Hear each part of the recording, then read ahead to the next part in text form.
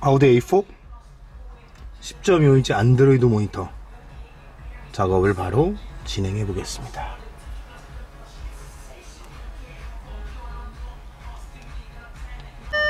아우디 A4 10.5인치 안드로이드 모니터 저녁 마감재입니다. 네. 순정 안에 있죠. 이런 식으로 조립돼요. 그 다음에 비상등은 원래 여기 있었는데요. 이쪽으로 이동하죠. 이제 조립해 보겠습니다.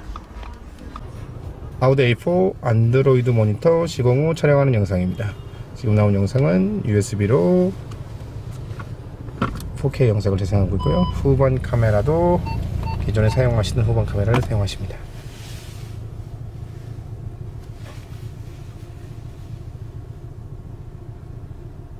어플 안에 가면 네이버 내비게이션,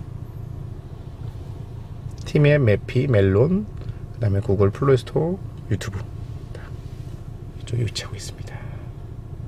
순정 시스템 네, 순정에서 지금 AUX가 선택되어 있고요. 밑에 원래 내비 버튼을 누르면 네, 티맵이 활성화됩니다. 지금까지 아우디 안드로이드 모니터 전문 시공 카아티스트 캡틴입니다.